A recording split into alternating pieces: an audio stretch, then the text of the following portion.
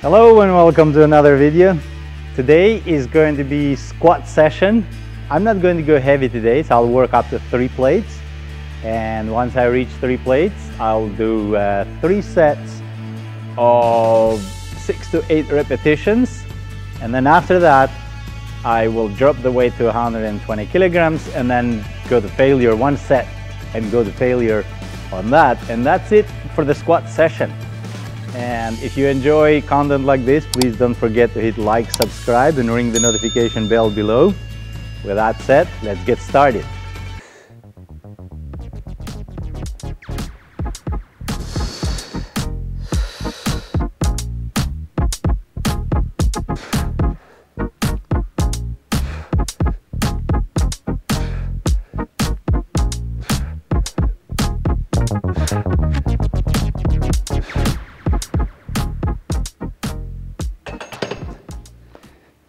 I won't take the shoes off and I won't start using the belt until I reach the working weight.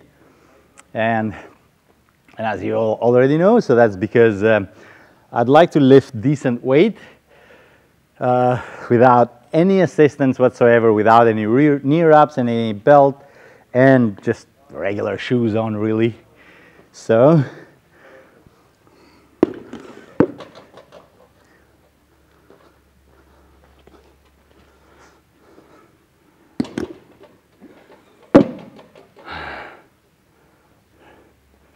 Not going to use the clips just yet because I want to check whether or not the plates move as I go up and down. And um, if that is what happens, then that means that the form is not correct. So basically, just as you go up and down, the weight should not move. If it doesn't, that means that you have the correct form. Now, you need to be careful when you unrack it because that's when the weights, the plates will move.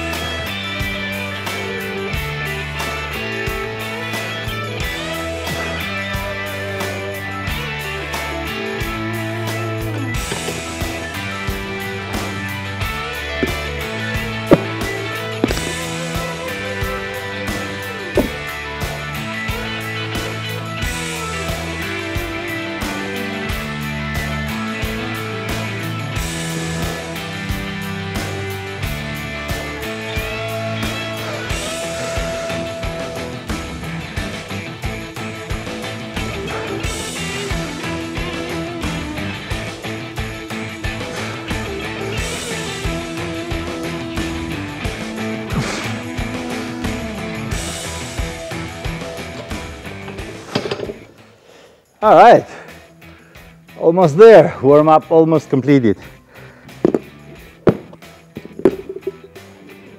I have a new challenge now that's 200 kilograms squat, 440 pounds. But I am giving myself uh, plenty of time for that. I'm not in a rush. I'm not preparing for any competition. So I'm just uh, doing this for fun and um, I, I share my experience so other people out there then can avoid making the same mistakes I made, especially when it came to squat and deadlift.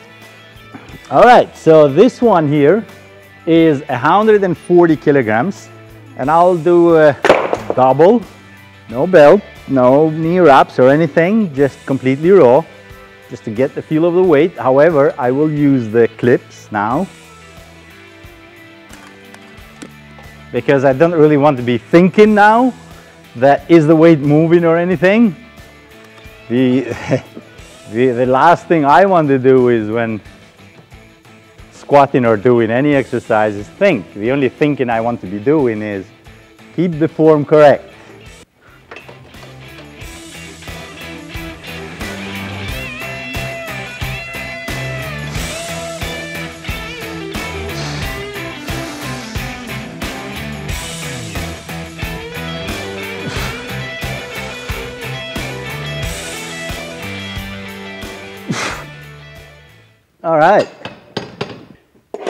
Now, it's time to get serious. Shoes come off, trainers, whatever you want to call them, and belt comes on. I, I like to use the minimum assistance possible, so just the belt. And even uh, the belt, of course, I use it for set when I'm doing sets and reps. But if I'm doing a couple or a triple, I usually, whatever the working weight for that set is, I usually do a couple or three reps of that working weight without any belt or any reps whatsoever. Just to know that I can do that if I am in a situation where I have to lift that weight. I can do it without any assistance. All right, so now enough talking and let's start working.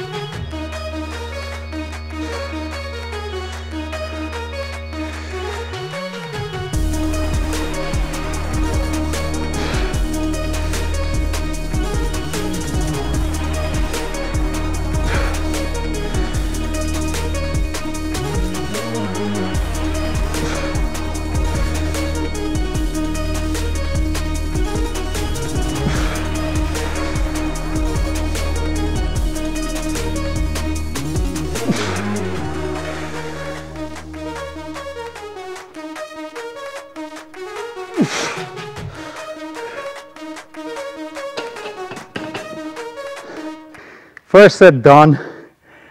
Uh, I stopped at six there because the program is six to eight, of course. I don't want to force to waste all the energy on the first set because there are two more. I will take anywhere between three to five minutes of break. So that sounds like quite a lot, right?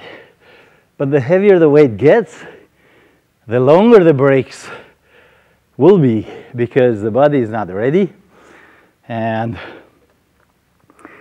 you will need a few minutes to recover to be ready for the next uh, for the next set because you can either if the body is not ready you will either compromise the form or you don't get the amount of reps you want and if you compromise the form then you risk injury.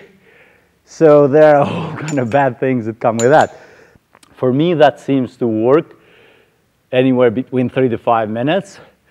Now, when I'm doing heavier weights, of course, I take a little longer break, anywhere between five to eight minutes. Sounds, sounds strange, right? Because uh, in reality, you're doing, let's say you're doing six to eight reps and you will be done with, with those reps in 30 seconds, 45 seconds, or let's say in definitely less than a minute, right?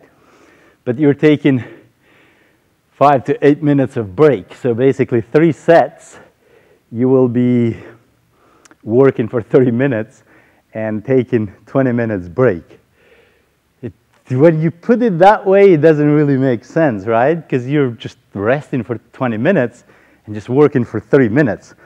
But that's how muscles work. So if you deliver, if you deliver that shock to the muscle, then that's what muscle wants. It wants that um, tension. That's the only language the muscle understands, tension. All right, here we go, the second set.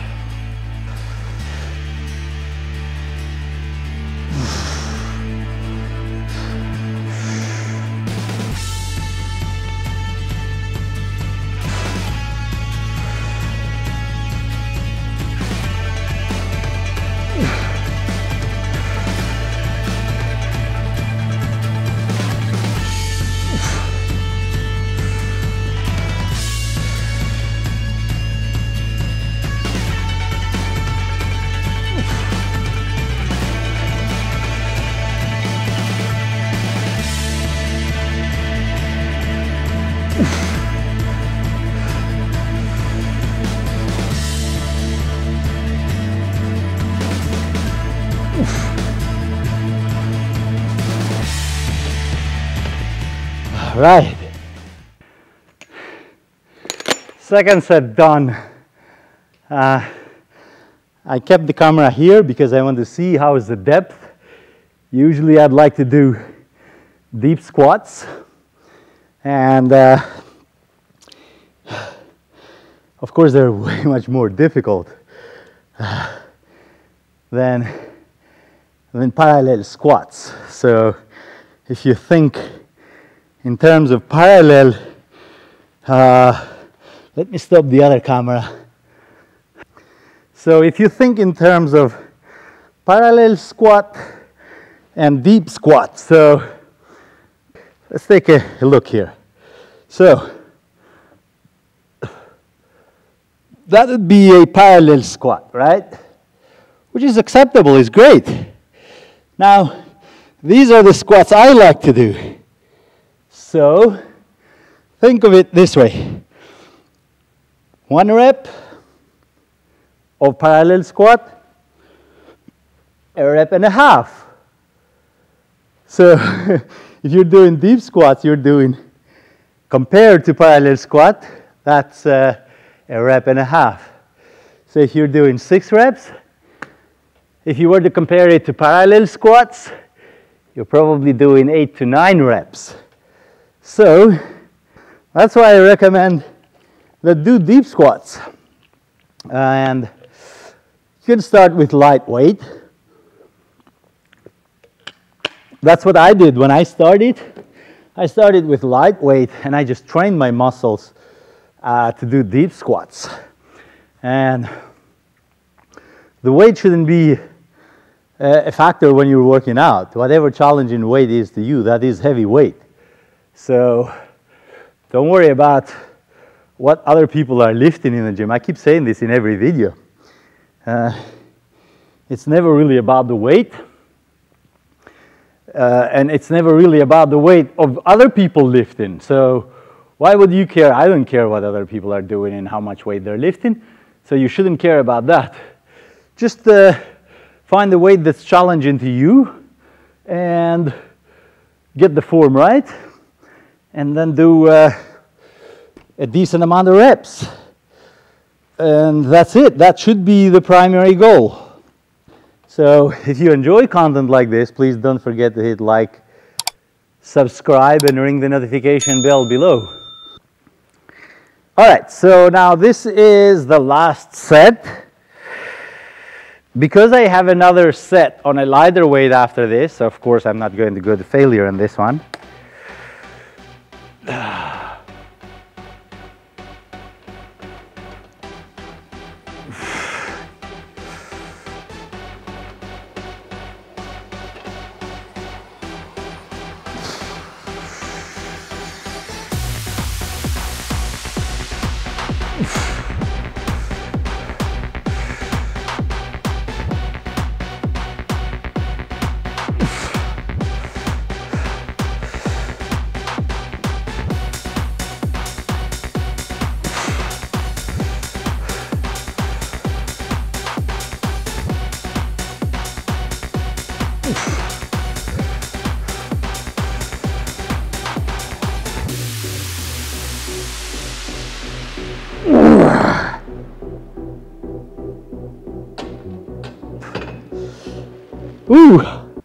I'm going to stop at five. The fourth rep, I was leaning a little forward, which consumed quite a little bit of energy to get that. That's a split second thing though, but it does consume quite a little bit of energy. So I was, I was leaning forward, so I was trying to correct my form and rebrace. And, and I thought, okay, I'll stop I'll stop then at the at five, which is still good, so not bad.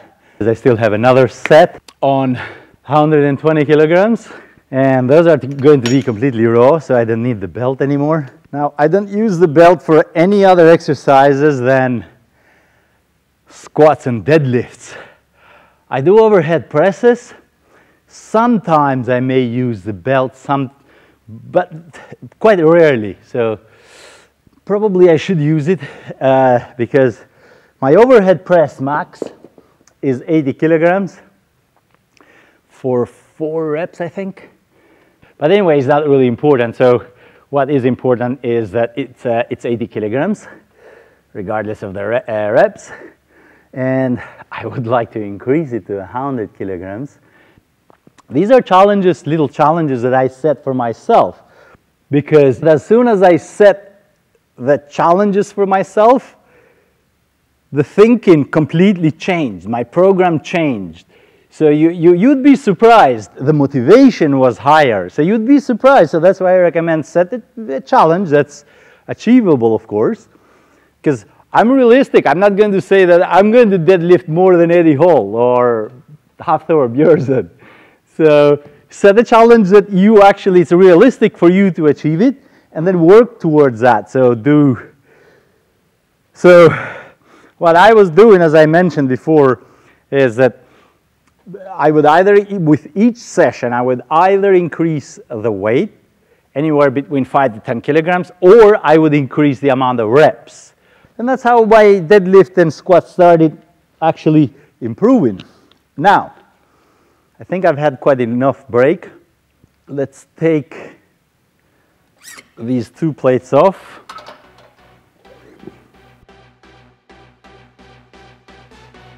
All right, so now this is 120 kilograms, completely raw, and I'll try to do to do them as fast as possible and as many as possible.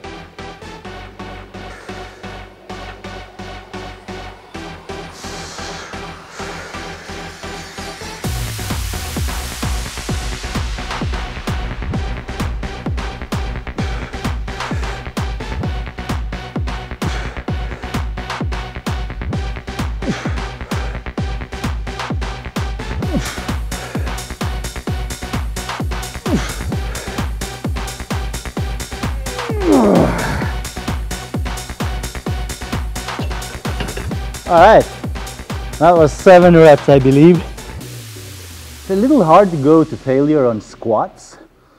Hack squats would be better. You can go to failure on those because there is a lock mechanism built into the machine.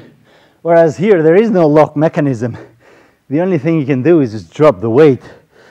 But anyway, so that was it for the squat session today. Thank you for watching. And if you enjoy content like this, Please don't forget to hit like, subscribe, and ring the notification bell for more content. And I will see you in the next workout session.